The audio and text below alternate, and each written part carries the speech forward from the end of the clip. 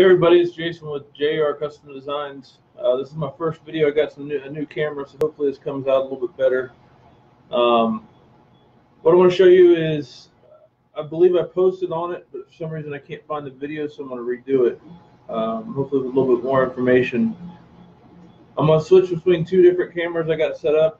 Um, so hopefully the sound will still pick up from, from this while I'm using the other camera to show you how the uh, removal tool works. Uh, this tool is for, or is designed around the Boss laser.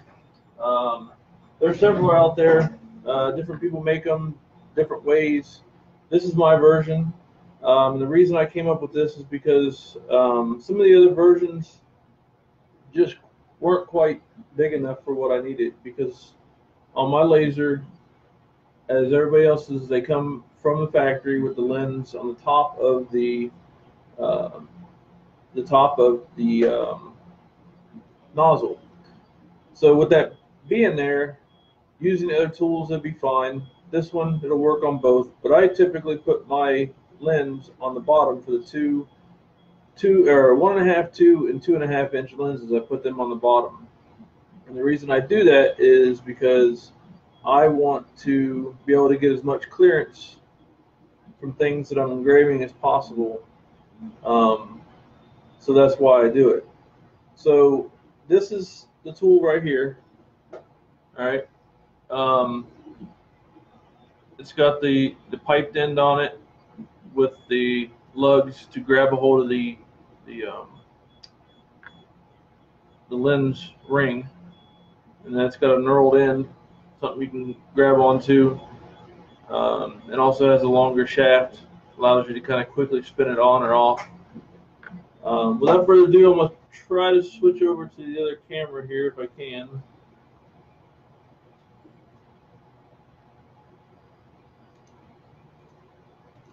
And of course, it's not going to let me. Um, so what I'm going to do, I'll go ahead and use it with this camera. All right, so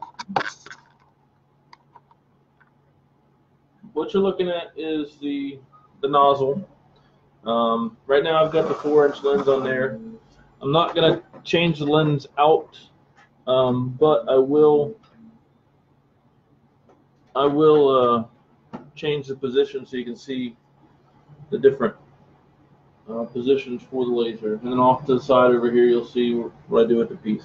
But anyways, first thing you do, machine's off, um, which is always good. If not, you want to make sure that your interlock works. Um, First thing you do is you take your lens off. And here's your lens on the top. Like I said, with it on the top, that's how it comes from the factory, from Boss. Um, this fits down in there, nice and snug, and it grips the, the ring. Then with it on there, see it this way. You just quickly spin it with your finger.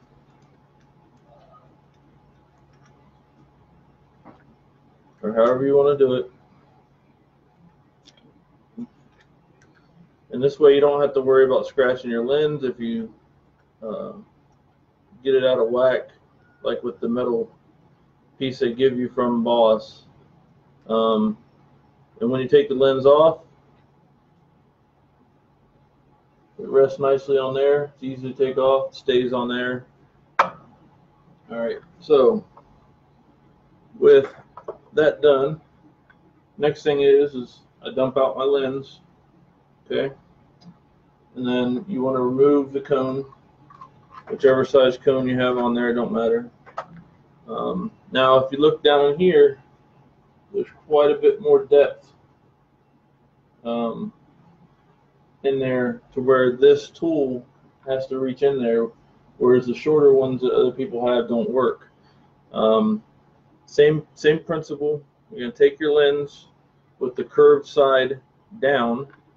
So you're going to place it inside the housing with the curved side in the housing and the, and the, the concave side facing out.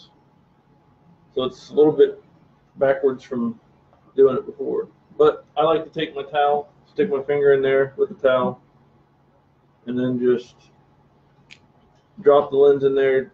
I use a towel on my fingertips so I don't get finger marks, and it gives a nice um, soft area for the, the, the lens to fall. Now, we'll take tool with the ring on it and screw it down.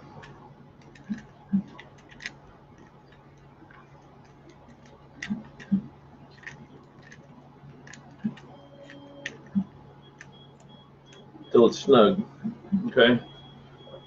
And then there you have the lens mounted on the bottom using this tool to mount it. Um, it allows you to reach down in there to, to mount that, that lens in there that way. Okay. Now all you do is you put it back in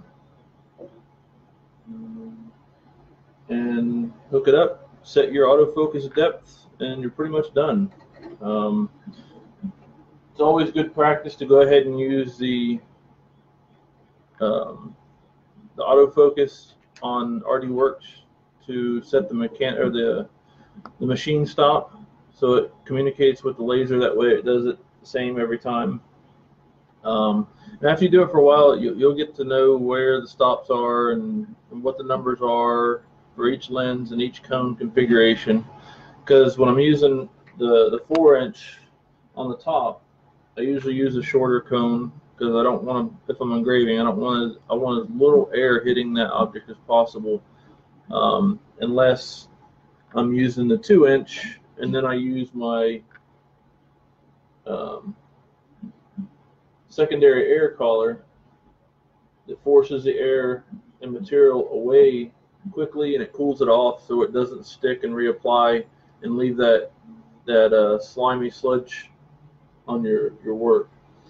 Um, all this stuff can be found. I mean, this is just something It's also on the website. Um, so if you're interested, check it out. If you have any questions, hit me up. Uh, you can find me on Facebook and or the the link to